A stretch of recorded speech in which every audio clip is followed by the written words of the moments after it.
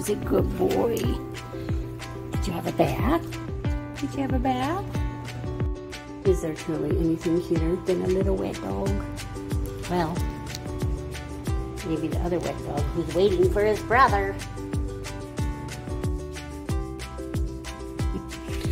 One thing about twins, they don't like being separated. what do you need? What do you need? Need your brother? Do ya? Do you need your brother?